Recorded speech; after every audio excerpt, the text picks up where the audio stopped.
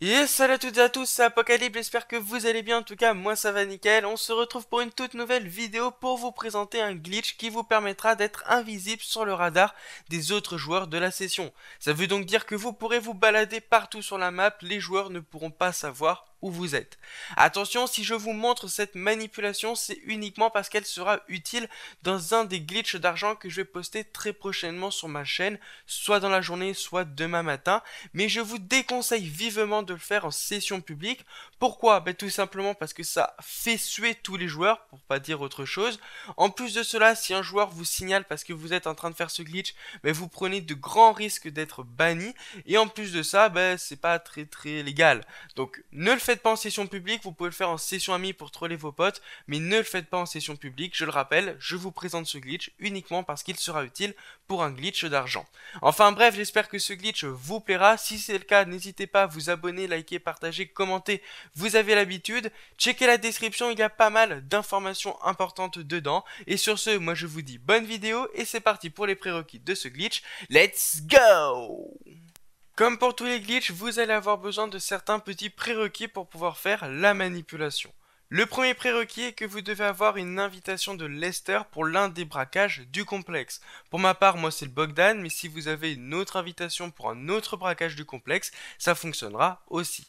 Si jamais vous ne savez pas comment avoir cette invitation, c'est très simple, il suffit d'être dans une session depuis quelques minutes, d'être inscrit en tant que SecureServe ou en tant que club de motard, on s'en moque, tant que vous êtes sur l'un des deux, ça fonctionnera très bien. Et il faudra aussi avoir commencé un braquage dans votre complexe, soit en ayant lancé une mission préliminaire, soit en ayant lancé une mission de préparation, on s'en moque, il faut juste qu'il y ait un braquage en cours dans votre complexe. En plus de ceci, il vous faudra tout simplement une arène et dans votre arène, il vous faudra au minimum un sous-sol. Si jamais vous avez les deux sous-sols, à ce moment-là, tant mieux pour vous, ça fonctionnera très bien, mais il vous faudra au moins un sous-sol pour pouvoir faire la manipulation. Et une fois que vous avez ces deux petites choses, et eh ben c'est très simple, vous pouvez commencer la manipulation. Alors c'est parti pour les étapes à réaliser, let's go dans un premier temps, vous allez tout simplement vous rendre dans un appartement ou dans un garage quelconque. On s'en moque, le principal étant juste que vous, rentriez, soit dans un appartement, soit dans un garage. Une fois que vous avez spawn dans l'appartement ou dans le garage, vous êtes parti pour une petite manipulation, un tout petit timing qui va être très simple. Vous allez devoir sortir de votre appartement ou de votre garage et au moment où vous spawnez dehors, vous allez devoir ouvrir votre menu d'interaction et vous désinscrire de SecuroServe ou de votre club de motard. Si jamais vous avez réussi la manipulation, vous devriez avoir comme moi dans votre liste d'activités l'invitation de Lester pour un braquage du complexe alors que vous n'êtes plus en SecuroServe ni en club de motard.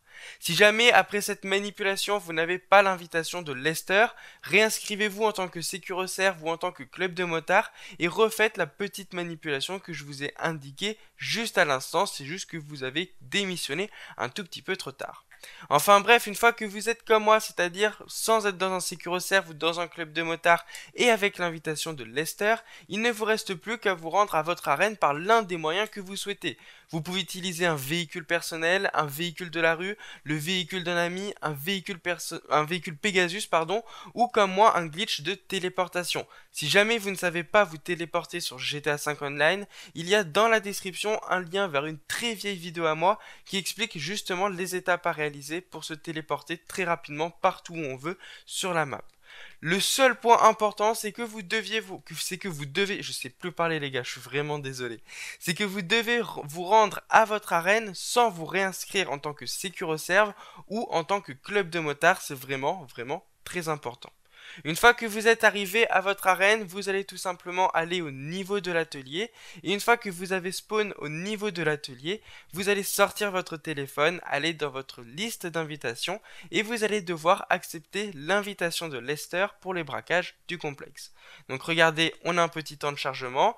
Une fois que le temps de chargement est terminé, on va dans notre liste d'activités et on accepte l'invitation de Lester pour les braquages du complexe. Si vous avez bien tout respecté, l'invitation ne devrait pas se lancer et c'est tout à fait normal. Dorénavant, vous allez tout simplement devoir aller dans une communauté, dans votre liste d'amis ou autre, et vous allez devoir rejoindre quelqu'un qui a un mode de visée différent. Vous allez confirmer le premier message d'alerte et refuser le second message d'alerte. Si jamais vous ne savez pas si la personne que vous rejoignez a un mode de visée différent ou non, je vous invite à aller voir dans la description de la vidéo, il y a des étapes, des petites astuces qui vous permettent de savoir si la personne que vous avez en ami ou qui est dans une communauté a un mode de visée différent du vôtre. Ça vous évitera de confirmer le premier message d'alerte et de partir dans le ciel tout simplement parce que la personne avait le même mode de visée que vous. Enfin bref, une fois que vous avez donc fait l'étape de la personne qui a un mode de visée différent, c'est-à-dire confirmer le premier message d'alerte puis refuser le second, vous allez aller devant cette porte et vous allez cliquer sur regarder l'événement. Normalement, ça devrait vous mettre un message d'alerte qui vous dit que cette activité n'est plus disponible. À ce moment-là, c'est tout à fait normal. Vous allez maintenir flèche du bas et vous allez sélectionner un des personnages du mode histoire. Une fois que vous avez ce message d'alerte là, vous allez le refuser et vous devriez être comme moi avec un écran tout flou, tout bizarre, c'est normal. Maintenant, vous allez tout simplement de nouveau aller dans votre communauté ou dans votre liste d'amis et vous allez de nouveau rejoindre quelqu'un qui a un mode de visée différent. Vous confirmez le premier message d'alerte, vous refusez le second message d'alerte et vous devriez être comme moi, c'est-à-dire sans minimap en bas à gauche et votre écran flou a dû disparaître.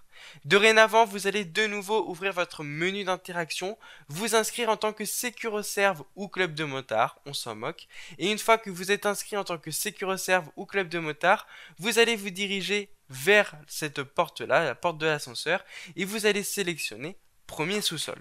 Une fois que vous avez sélectionné premier sous-sol, vous allez avoir une animation, puis vous allez partir dans le ciel, c'est tout à fait normal. Dorénavant, il ne vous reste plus qu'à attendre et je vais vous passer le chargement en accéléré. Si jamais vous ne partez pas dans le ciel, c'est que vous avez oublié d'accepter l'invitation de Lester quand vous êtes rentré dans votre arène. Recommencez toute la manipulation depuis le début et normalement vous devriez ne pas avoir de problème. Je vous passe donc le petit chargement en accéléré car il est vraiment, vraiment très long.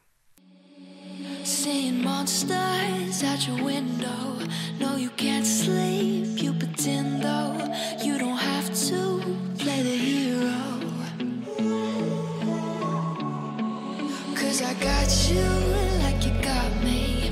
When the earth shakes, when the bombs scream Until our last breath, every heartbeat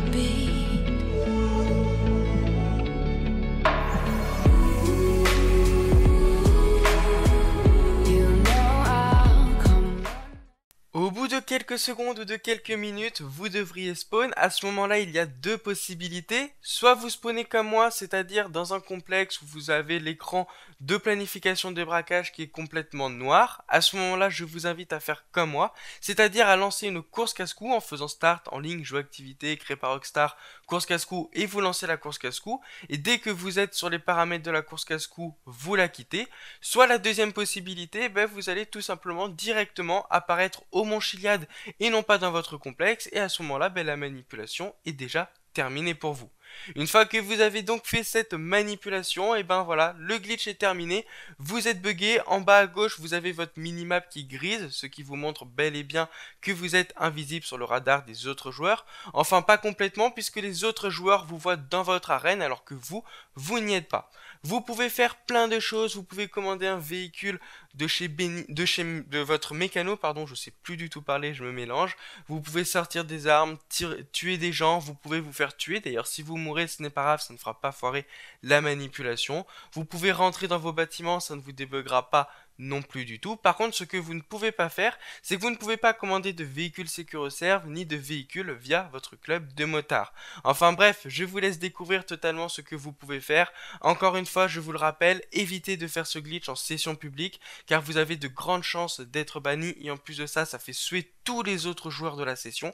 Alors évitez de le faire. Sur ce, moi je vous dis ciao tout le monde. Bye bye. Peace over. Abonne-toi.